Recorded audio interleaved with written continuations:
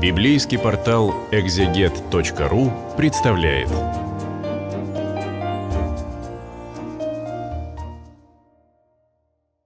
Это видео записано для сайта exeget.ru. Сейчас мы с вами рассмотрим содержание 27 главы книги Деяний, которая начало до конца описывает путешествие апостола Павла из Палестины, из города Кесария в город Рим, в Италию. Как мы помним, апостол Павел был э, арестован, и после суда, который описан в 26 главе, после суда, в котором участвовал правитель э, Порций Фест и иудейский царь Агриппа и его сестра Вереника, э, согласно просьбе самого апостола Павла, он отправляется в Рим на суд Кесаря. 27 глава с 1 по 8 стих описывает один из этапов путешествия апостола Павла, а именно путь из Кесарии на остров Крит. А, в Кесарии апостол Павел садится а, вместе с другими узниками, которых сопровождает вместе с солдатами сотник Августова, то есть императорского полка по имени Юлий. Так вот, э, этот э, Юлий фрактует корабль который идет из города Кесария в город Адрамитий. Он называется Адрамитский корабль. Но Адрамитский корабль, э, он следует на самом деле на западное побережье, вернее, даже зап- северо-западное побережье Малайзийского полуострова. То есть на нем в Рим э, никак не приплыть. И поэтому эм, этот корабль плывет из города Кесария, дальше на север вдоль побережье эм, Сирии, Палестины и Сирии в город Сидон, затем, э, оплывая э, побережье Палестины, Сирии, потом э, на севере Малайзийского полуострова, прибывает в город Мир-Ликийский, где сотник Юлий пересаживает узников вместе с апостолом Павлом уже на Александрийский корабль, который плыл из Египта, из города Александрия в город Рим. Вот именно тем, что э, Адрамийский корабль не мог привести их в Рим, и была обусловлена эта пересадка, которую они делают в, горы, в городе Мир-Иликийский. Он им хорошо известен, поскольку один из великих святых православной церкви, святитель Николай, он как раз был епископом этого э, города. Итак, а после того, как апостол Павел пересел на Александрийский корабль, они а, плывут дальше на запад – Э, проплывают Книд и затем спускаются вниз на юг к острову Крит. Но на острове Крите они огибают э, с восточной стороны мыс Салмон и проплывают вдоль южного побережья Крита до э, вот следующего пункта. Он называется «Хорошей пристани», который находится близ города Лосея. Уже судя по дальнейшему повествованию, заканчивается сезон навигации на Средиземном море, который, э, по свидетельству э, древних историков, я беру именно эти свидетельства, потому что они плыли на древнем корабле.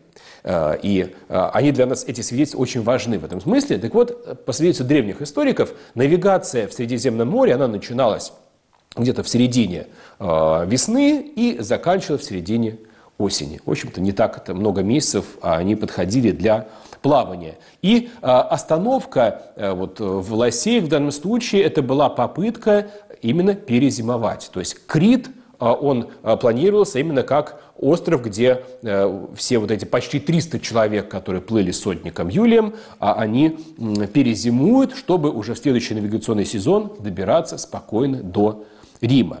Но, э, к сожалению, я э, не могу здесь с такой фактической точностью э, сказать, но, возможно, вот это название «хорошей пристани», может быть, какая-то здесь была ирония, потому что капитан корабля считал это место плохим для зимовки, и было решено найти подходящее место для того, чтобы на корабле переждать зиму.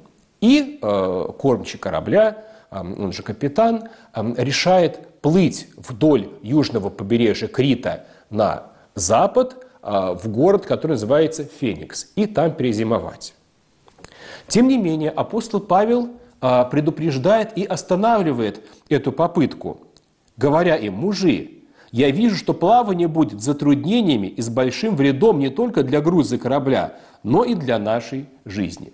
Ну, отчасти, может быть, апостол, апостолу Павлу было какое-то откровение да, о последующей буре, но не будем учитывать и такой важный исторический момент, что если основываться на, на втором послании апостола Павла к Коринфянам, то он до этого побывал в кораблекрушениях уже аж целых три раза. Как он сам пишет, что э, три раза я э, находился э, в открытом море, то есть фактически, вот, согласно описанию второго послания Коринфянам, апостол Павел трижды в своей жизни сутки провел в открытом море, в общем-то, будучи э, вот, выброшенным с корабля в результате э, кораблекрушений. Поэтому апостол Павел уже как опытный человек ведет себя и, э, предчувствуя неладное, он об этом и говорит Юлию и кормчему. Но сотник более доверял кормчему, начальнику и начальнику корабля, нежели словам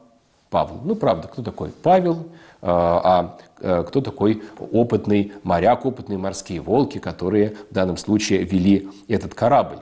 На Древнем суде судне переплывать э, с юга э, на север из Александрии Египетской в Рим, ну, в общем-то, нужно было быть очень опытным человеком. А, тем не менее, апостол Павел оказался прав. Сначала ничто не предвещало беды, дул южный ветер, который позволял с помощью, очевидно, парусов плыть вдоль побережья, но затем внезапно, и эти события, описанные в 28 главе, в стихах с 14 по 44, начинается буря. С севера начинает дуть сильный ветер, который называется Эвроклидон, и корабль беспомощно начинает уносить в открытое море. Корабль уносит, более того, этот корабль чуть не разбивается о маленький остров, который находится напротив южного побережья Крита, который называется а, Клавда. И это начало шторма, который для корабля и для его, эм, для тех, кто на нем плывет, будет продолжаться аж целых 14 дней.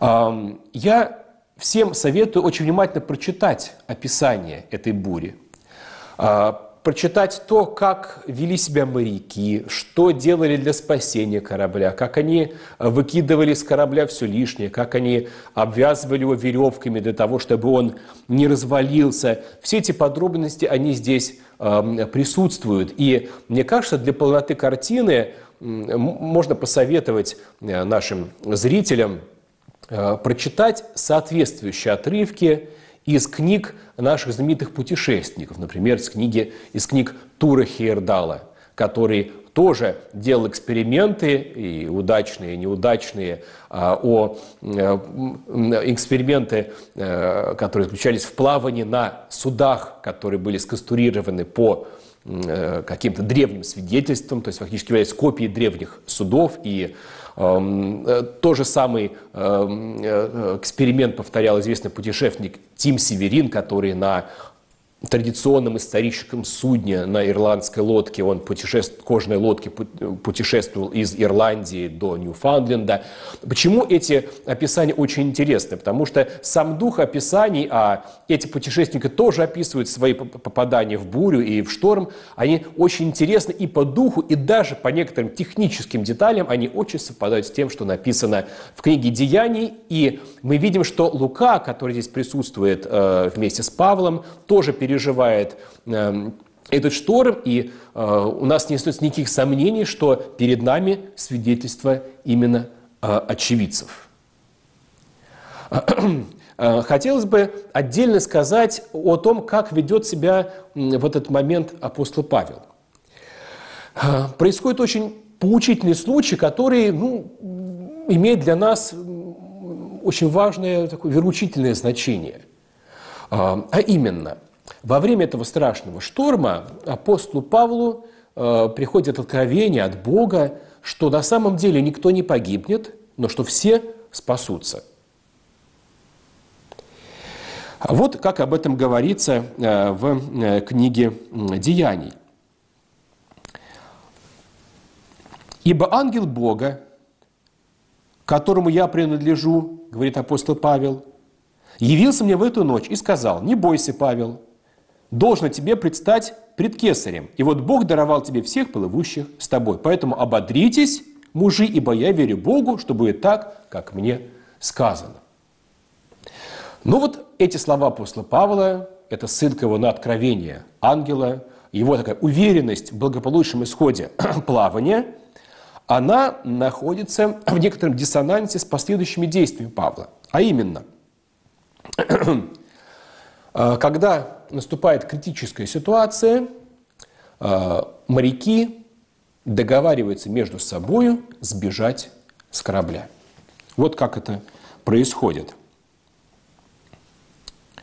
когда же корабельщики хотели бежать с корабля и спускали на море лодку, делая вид, будто хотят бросить якоря с носа, то есть моряки хотели обмануть тех людей, в общем-то, профанов, которые не посвящены морское дело, хотели их обмануть и сбежать с корабля. Пытались изобразить, что они якобы бросают лакарь, якорь, при том, что согласно измерению глубины с помощью лота, о чем тоже э, с такими очень важными подробностями, с техническими деталями рассказывается здесь в 27 главе книги «Деяний», э, они, в общем, их действия были логичны, э, как будто бы логичны, они делали вид, что хотят э, опустить в воду якоря. На самом деле они хотели сбежать. И вот что делает апостол Павел. Во-первых, он это заметил. Он угадал их замысел. Возможно, что и опыт предыдущих неудачных путешествий на корабле да, здесь играл, сыграл э, свою роль.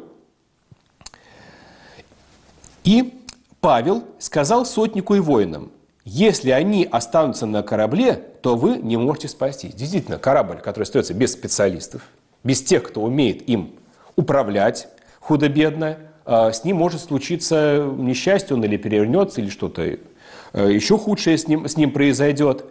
И апостол Павел, понимая это, докладывает об этом Центуриону, и тогда воины отсекли веревки у лодки, и она упала. И вот мы можем даже представить себе лица этих моряков, которые договариваются, шушукаются, пытаются договориться, как им сбежать с корабля, чтобы хотя бы свои жизни спасти. Ну куда уж там, ладно, узники, э, пускай себе погибнут, но хотя бы мы спасемся. Вот они договариваются, подходят к этим лодкам, чтобы их развязать.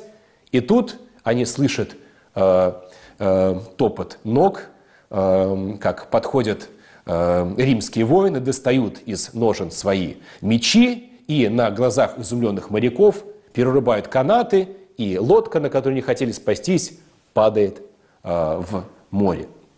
Но нам, может быть, интересны не только вот эти драматические, драматические страницы этого путешествия, а почему апостол Павел так себя ведет? Почему, получив от Бога обещание, что все будет хорошо, он, тем не менее, не теряет бдительности, он следит, что происходит на корабле, и говорит, что если моряки сбегут, то мы не спасемся. Но если ты веришь в Бога, и Господь сказал тебе, что вы спасетесь. Почему тогда ты говоришь, что вы не спасетесь? И как бы полагаешь свою надежду на моряков. И, э, конечно, мы обязательно должны дать на это ответ. ответ, на самом деле, очень простой. Что помощь Божья и участие Божьего промысла в нашей жизни, и апостол Павел очень ярко это показывает, не только не исключает нашей собственной активной позиции, активной деятельности – но предполагает ее. То есть мы можем жить с Богом, иметь помощь Божью, только активно содействуя Богу. Как поведение Павла часто расходится с поведениями людей, которые э, говорят, вот, ну пускай как Господь решит, так и будет. И здесь видно не сколько надежда на Бога, сколько какая-то беспомощность и нежелание трудиться. Но апостол Павел нам показывает этот очень важный духовный баланс. Да, мы надеемся на Бога, и на помощь Божию, и имеем эту помощь, но все равно мы должны действовать. Именно Господь дал Павлу этот ум. Господь дал ему понять, что может произойти что-то очень плохое, непоправимое, если сейчас он не проявит а, свою твердость и не проявит свою решимость. Вот апостол Павел здесь дает пример того, как нужно относиться правильно, взвешенно и трезво к промыслу Божию.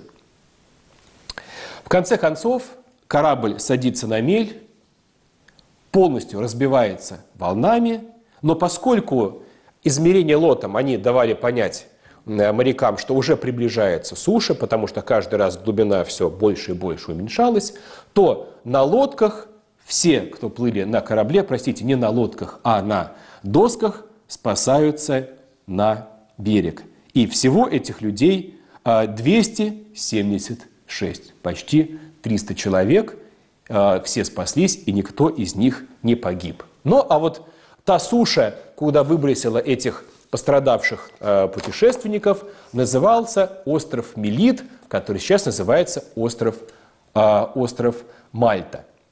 Но это будет уже относиться к содержанию следующей главы.